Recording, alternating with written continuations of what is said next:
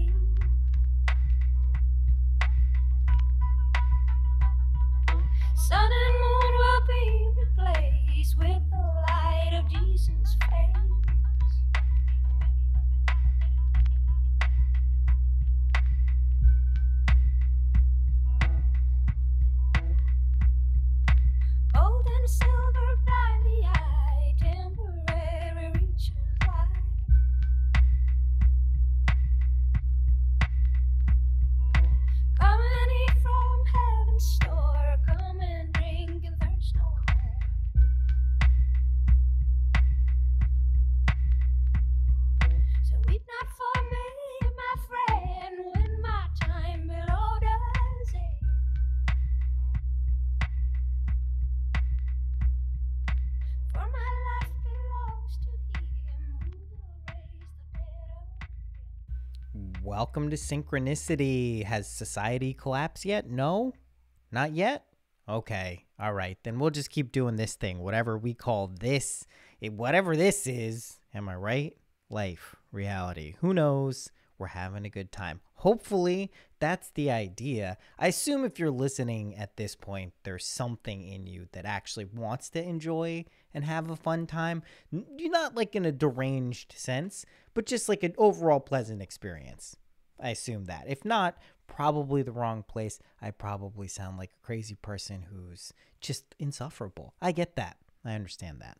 Uh, but if you're not, we're here. We're going to have a good time. We're going to talk about some stuff. Before we get started, I'd like to say big shout out to the guys at Ned, helloned.com. Go check out everything they have to offer. CBD products, what do they call them? Full spectrum hemp oil.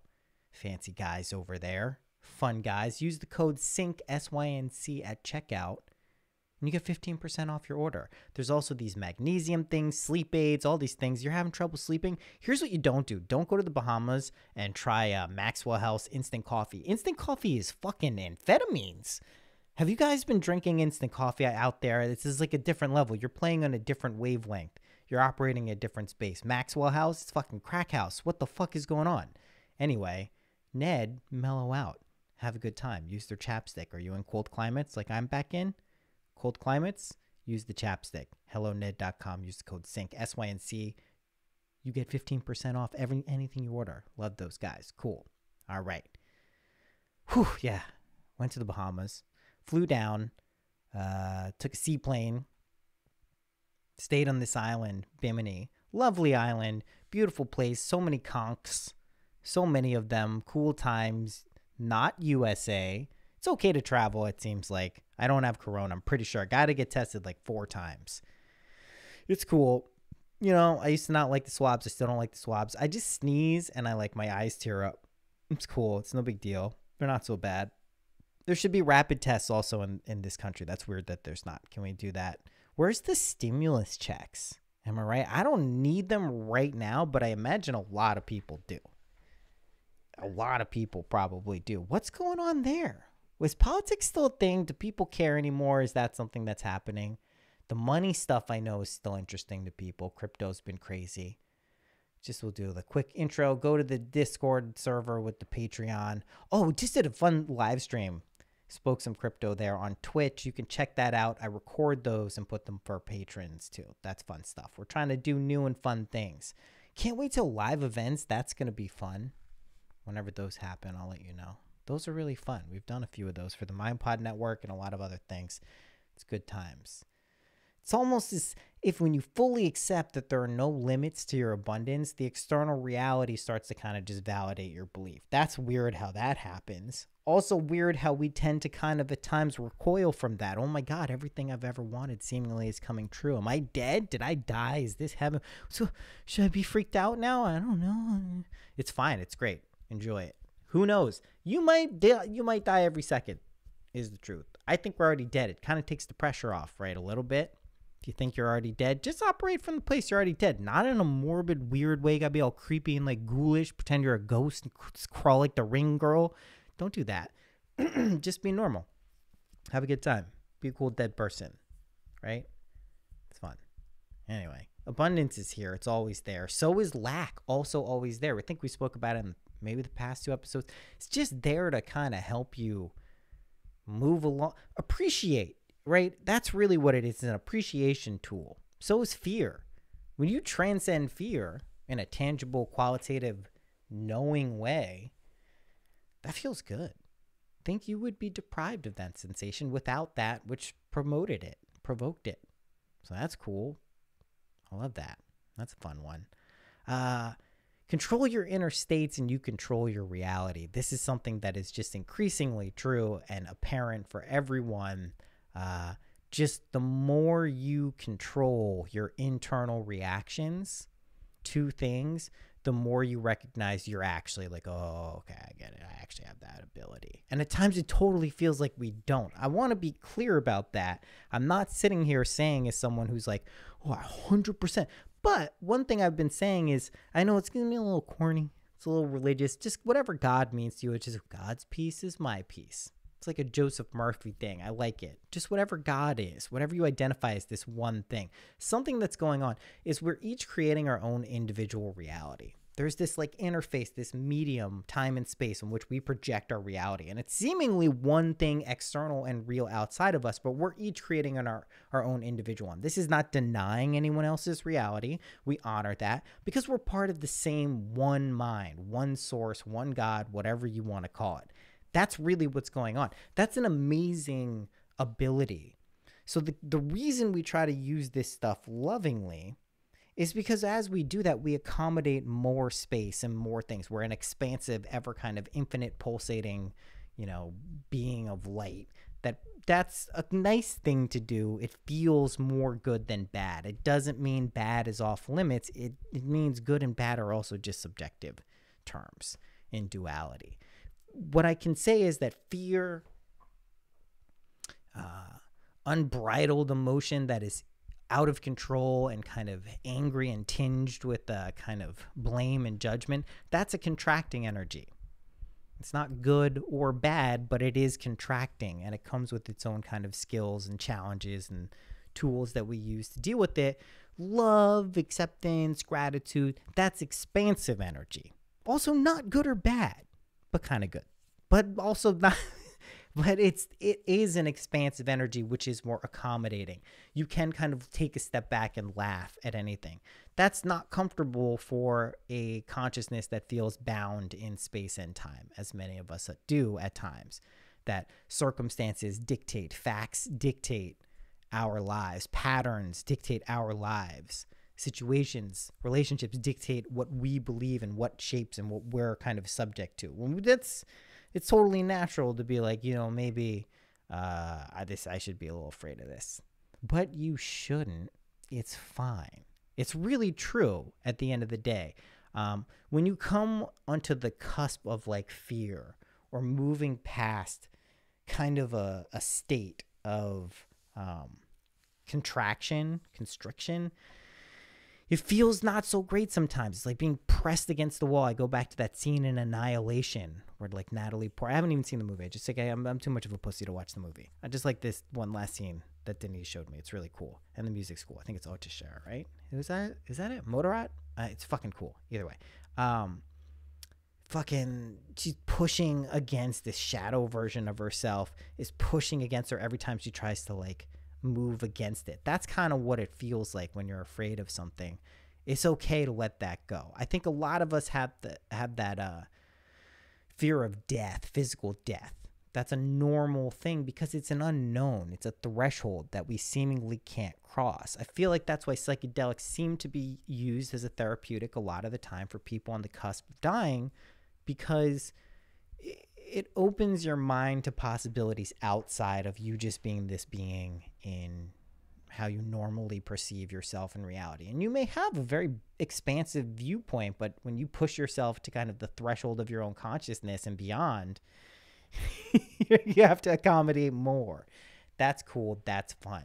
You also, I don't say you have to, but the more you can kind of accept um, peace, calm, harmony, unconditional love, those things as just innate aspects of your being, the better things will go, the more reflective you will be, the more clear you will be as a reflection of that truth. You're not compelled to do that. There is, I think I saw Nick, I gotta have Nick back on. Nick Hinton posted something about uh, this conspiracy or something of like these people who have to put out dark energy as a polarity to kind of balance um, what's going on energetically in a world of duality. And that's a very, very interesting thought. I think I don't know, I haven't come into contact with that being a necessity in this reality, but it, it plausibly could make sense. Totally. As energy balances, um, that could make sense. I think the more what it feels like to me is there's a frequency or a pitch or a vibration or a tonal quality of what we collectively resonate at. And that's where we find ourselves on a spectrum kind of, of awareness, what we can perceive physically with our senses, extending past our physical senses. That's a frequency. You can think of it like a spectrum of hertz on like a oscilloscope. Is that what it's called? Basically, you can see on the spectrum of hertz where you are. So let's say we're we're humming at a nice 432. Everyone loves 4032. I found an old drum and bass compilation I wanted to listen to, so I'm gonna pitch it down to 432 instead of 440 hertz. People like that as a vi- vibratory state. Let's say you're resonating there. We collectively move up this scale and kind of appreciate and have a broader perspective and resonate at a higher frequency. This is not a judgment. You know, I'm resonating at a higher frequency than you, man. I'm spiritual. You're not. It's that you just become more aware of certain things um, in your reality, inside of your being, ultimately. That's what I think we're doing right now. I think we're in this process of typically it was a relatively harsh process for most people to kind of come to like big realizations on the threshold or through the process of physical death. Now we're getting a wonderful opportunity to kind of transcend some of those themes and energies while we're alive, while we perceive ourselves as being alive. That's cool. I've said it many times. That's badass. You should commend yourself for putting yourself through a process like that. Personally, that's what I think. I think one of the ways we prove this to ourselves, rather than just speaking about it and speculating about it, is start operating and start applying kind of whether you want the imaginal techniques, the law of believing and changing your core beliefs by feeling yourself to be that which would you want to be or having that which you would want to have. You can certainly start with material things. That's a very good proof, initial proof for a lot of people. I certainly recommend primarily that you do this for states of consciousness harmony, bliss, ecstasy, gratitude. Those types of things are really hum- humbleness. I think that's a good one I've learned many times. Um, appropriate those states of consciousness and then start to see how your reality works. That's feels to me like moving up a spectrum of kind of awareness. Just personally, I don't know. That's what it feels like to me. Crypto. Do I really want to go into crypto stuff? I don't know. I don't know. I it's been such a fucking vortex. A lot of things are moving. I just spent like 45 minutes talking about this on the live stream on Twitch. Um, it there's a big thing happening with money right now. There's a lot of Venus action in the skies. There's a lot of kind of big moves with the nodes collectively, Sagittarius and Gemini, uh, respectively, north and south. Um, you know, it's there's shifts around how things are working. And one of these shifts is how money will flow from relatively stagnant or static kind of bottlenecks, typically in a funnel type pattern where the wealth is consolidated for a very few relative to energy and, and money terms, where that's being redistributed. And it is, whether you like it or not. You can see that. You can be like, no, that's not really happening. It is happening. Cryptocurrencies are a large part of it. It's not just cryptocurrencies, there are also stock traders and other people who trade currencies and other things of value. Could just be a business, could be real estate. It's happening. Ideally, what we prepare ourselves for as this happens is how do we use this money wisely? How do we use this energy wisely? How do we use it to serve our overall goals of harmony, balance, abundance, love, and not let it conflict with kind of our egos of like domination and assertion. It doesn't mean we can't you know, even own or have a large landscape of wealth that extends past a lot of things. If we're using it nobly, I'm not opposed to that idea at all. Doesn't mean I'm in, fi- in favor of despotism, despotism or authoritarianism. I'm pretty sure I'm not, but it does mean that like you can shape your relationship to wealth and abundance now more easily than it seems ever before for more people. I guess that's what I'm saying. It seems more accessible. A lot of these concepts that we talk about in terms of bending reality, kind of shaping our reality by changing our internal state, um, is completely aligned with how we're seeing kind of money being exchanged. And I feel like we all signed up for this game, right? And we're all kind of generating this reality. My invitation would be like, take you know, the pen in your hand and write the story that you want to be writing at this time. It's really fucking incredible. I know everyone can kind of sense the magnitude and specialness of this time and place that we're in. It's very cool. And, and might be a little scary if you're not used to that energy. If you're used to things being stable and kind of completely in place, this might be unsettling. But if you're kind of used to going with the flow, and enjoying things that are going on, you can experience a lot of fun things in life as an alive person and things you probably didn't even imagine before. That's one of the cool things about expansiveness and love and gratitude and all of those things is you you can't even imagine all of the awesome things you're going you're going to do. Sometimes there are feelings that feel better than you thought they would feel. Sometimes feelings feel worse than you thought they would feel. You don't know. Go there internally, suss that out, figure it out. Um, and it's worth it. I saw something on TikTok that reminded me of something I said early on in this podcast a couple of years ago, a few years ago, um, about time traveling and how essentially your present self right now can send back versions of like energy and calm and awareness to past versions of yourself. Of course, you can do that. That's how time works. You can send everything's gonna be all right. You fucking got this shit. You turn out amazing.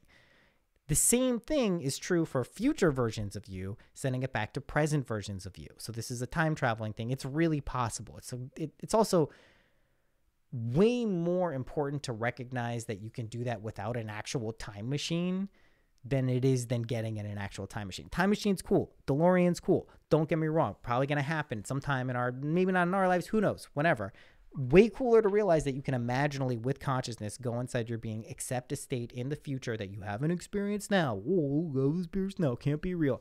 Go there, embody that. That's the same thing as you right now sending back good feelings to past self. Do both of them. That's meditation, by the way. Don't let anyone tell you meditation has to be sit down with your eyes closed and calm breath for 30 minutes. Do that every day for the rest. That also can be not shitting on that, but really understanding that you can send positive kind of resonance back to past versions of yourself, appropriate states in the future, send those back to your present self, connecting those dots, super important. Use music, use, sound to do this. I bought a new synth, Access Virus TI Polar. Used to have this like 20 years ago. It's a great synth the the irony of it being a virus is not lost on me. There's a patch called K-hole. I wish it sounded better, but it just proves it's the right synth for me. Anyway, it's super cool. Uh, got a new drum machine coming. That's fun. I think we're gonna do like a super short episode. It feels like a short episode. If you have questions, jump on the Patreon this month. Uh, it's fucking cool what's going on in the Discord there's just yeah, there's a lot going on right now. Take time to breathe, get your energy up, do things that like physically make you feel alive and invigorated is probably the best advice I have. Should we pull a little cardsy? A little cardsy for us. Three of Swords reversed. I love it. Contracts are ending, right? Probably can feel that one being true, whether that's a relationship, a job, a version of yourself, something you found karmically tied to. Those contracts are ending. Move past them kind of with effortlessness and grace. Ace of Cups, self love, recognizing kind of divine wisdom signified by the dove with the alchemical cross, going into the cup of awareness, your emotions, your feelings, letting that stream down into the pool of awareness below. Lotus flowers come up. I'm not even looking at the Rider Waite, I just know it so well. Uh, basically, fucking good shit. Just love yourself, love things around you. It may sound corny, maybe hard. Just find whatever it is. Maybe it's chicken nuggets. Who fucking knows? Six of Pentacles, balance, Libra energy, Pentacles, a lot of economic, financial balance will be coming in. If you can believe that and understand that, it shall happen. Seriously. You don't have to worry about that. It's good times. Short episode. I love it. Music is coming out on the Patreon. Mixes are coming out on the Patreon. We're going to be doing some cool music stuff. I'm getting the studio like fully set up, taking some of these profits from Cryptoland and putting them to good use. Uh, so stay tuned for that. Don't have to be a patron to get that. It's usually on Twitch, but it's cool if you want to be and interact. Love you guys. Super fun. Keep your heads up if they've not been up. And if you've just been getting rocked about, it's okay. It's a lot of frenetic energy. It's Mercury retrograde. It's kicking people's asses. It's going to be over soon. Spring's around the corner. You're going to feel pretty good. Pandemic's going to look interesting. There's only so long that people can be contained inside. We'll see what happens. Wear your mask. It's a nice thing, nice thing to do, but you know, who knows what's going on? You know my theories. Anyway, I love you guys. Happy imagining.